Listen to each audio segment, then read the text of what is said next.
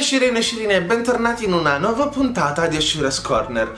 Questo video nasce da una discussione con alcuni di voi su Facebook. Si parlava del, dei metodi alternativi per esporre le nostre figure nel momento in cui abbiamo la camera strapiena e non abbiamo spazio per... Um, mettere, inserire, disporre Detolf, Billy, qualsiasi libreria che possa ospitare le nostre figure e che proteggano quest'ultime da qualsiasi agente esterno, quindi la polvere, l'umidità, le mamme pazze che cercano di pulire e distruggono nostri, le nostre figure, bambini, eh, nipotini, eh, qualsiasi cosa.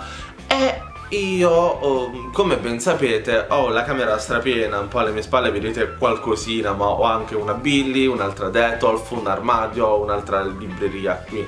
Sto abbastanza sommerso e cercavo del, delle vetrine piccole in plexiglass, qualsiasi cosa per esporre uh, ciò che realmente non, non entra all'interno delle vetrine. Con il mio amico Andrea abbiamo iniziato a cercare un po' uh, su AliExpress, sì perché siamo un po' porelli, quindi cerchiamo i modi possibili per risparmiare, delle piccole vetrine in plexiglass, però le ricerche hanno avuto i frutti, però non proprio entusiasmanti, diciamo così. C'era una vetrina normalissima, piccolina, 25 euro, però mi scocciavo aspetta un mese, cioè no, AliExpress accelera i tempi.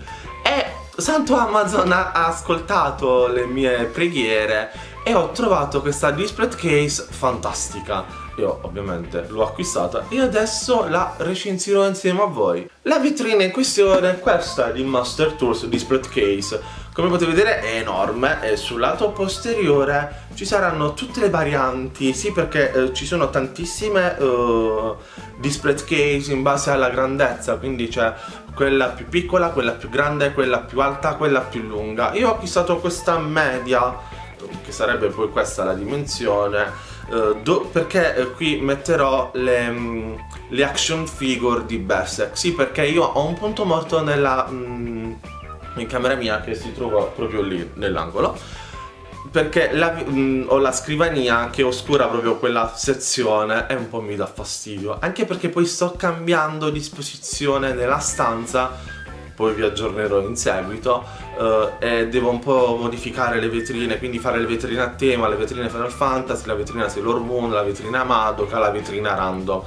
E qui, dato che quelle di Berserk sono realmente piccoline, stiamo parlando di quelli cosini così, ho deciso di acquistare proprio una, una display case a parte e poi magari esporle lì perché sì occupano tantissimo spazio e sono microscopi quindi proprio uno spazio buttato. Questa case come avevo detto è stata acquistata su Amazon 23 euro compresa le spese di spedizione quindi mi, mi è andata proprio alla grande e lo apro insieme a voi.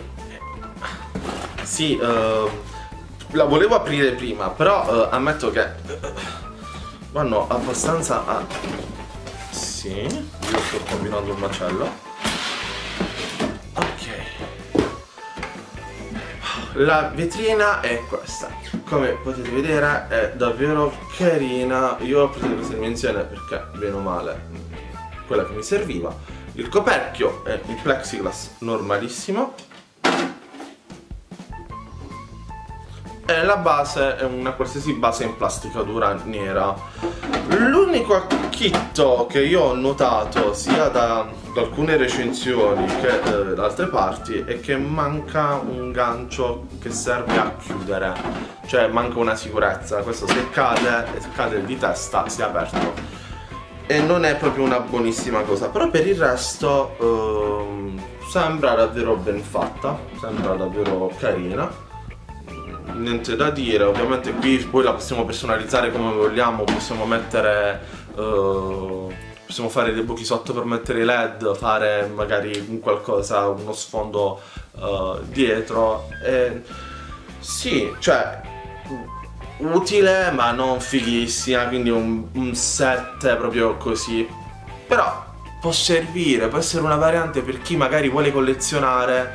Eh, non vuole spendere 70 euro per una Detolf oppure non ha tantissimo spazio, le mette su un mobile, quindi sì, ci sta, ci sta tantissimo.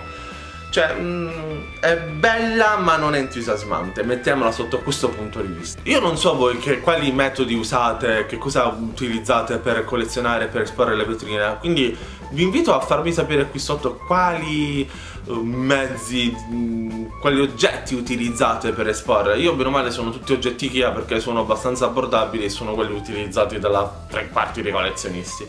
Se avete altri metodi alternativi, eh, rivenditori da, da, consigliare o espositori in plexiglass, vetro quant'altro, fatemelo sapere sempre qui sotto nei commenti e vi ricordo di iscrivervi al mio canale e seguirmi su tutti i vari social network, così almeno vi restate aggiornati su quelli che sono i miei scleri quotidiani e quant'altro. Per ora è tutto, ma solo per ora, Shura vi ringrazio e ci vediamo al prossimo video. Ciao!